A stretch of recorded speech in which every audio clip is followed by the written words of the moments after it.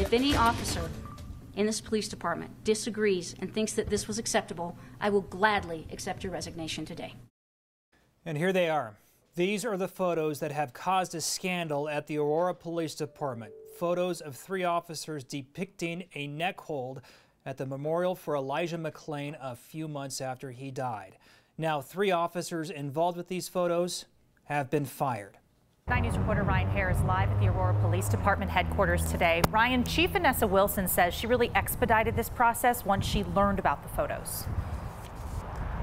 Right. So, Jennifer, uh, she was notified by an Aurora police sergeant about eight days ago of these photos that were taken all the way back in October. She says she learned about it eight days ago. It took the department that long, just over a week, to move through all of the internal affairs processes they needed to get to the uh, determination of termination. And Vanessa Wilson, the, the, interim chief here at Aurora, says she denied all the officers involved a chance to uh, appeal this decision. She would not allow that to happen. She wanted an immediate firing, and so it happened today. Let's Let's look at these photos again. I want to explain to you what you're seeing here. It shows Jaron Jones. He's the one in the hat. He's the one who resigned actually yesterday before all of these termination notices came down, doing a carotid hold on Officer Kyle Dittrich, uh, a move used on Elijah McClain before he died. The third posting officer is Erica Marrero. They sent this photo to officers Nathan Woodyard and Jason Rosenblatt. Woodyard deleted the photo and said nothing about it to anyone. He did not lose his job, but Rosenblatt responded to the text with a quote, ha ha, and that response got him fired. Rosenblatt and Woodyard were involved in the struggle with McClain that ended in McClain's death, and the three who snapped the photo said they took it and sent it to those two officers to cheer them up. Interim Chief Vanessa Wilson had some thoughts on that one.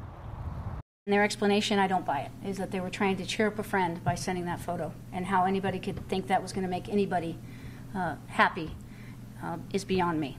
Um, Mr. Rosenblatt felt that he would respond, ha ha, and I can tell you that Mr. Woodyard was extremely disturbed.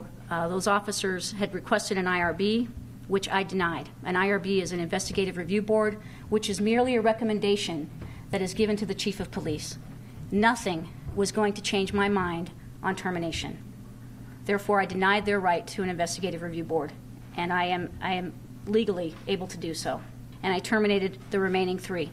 They are no longer able to wear this badge or represent this agency. So the police union for the Aurora Police Department responded to this decision by Vanessa Wilson today, sending out a statement basically saying that this all happened too fast, that the investigation violated the officers' due process. They pointed out that a, a standard internal affairs investigation takes oftentimes months, and this one happened uh, in just over a week. But as you just heard, uh, Interim Chief Vanessa Wilson not uh, taking her time with this one. She wanted these officers fired as soon as possible. She ended the press conference today by uh, again apologizing to Elijah McClain's mother, who uh, she says she met with earlier this morning to make sure that she saw these photos first. Jeremy. Yeah, that's right, Ryan. You know, we have a protest that's planned tonight in Aurora, and we got to wonder how these, um, you know, how these photos are going to impact that protest. We appreciate your reporting out there, and I know you're going to be covering those protests tonight. You stay safe, and I'll be out there later tonight. Too, Will do. So, thanks, Ryan.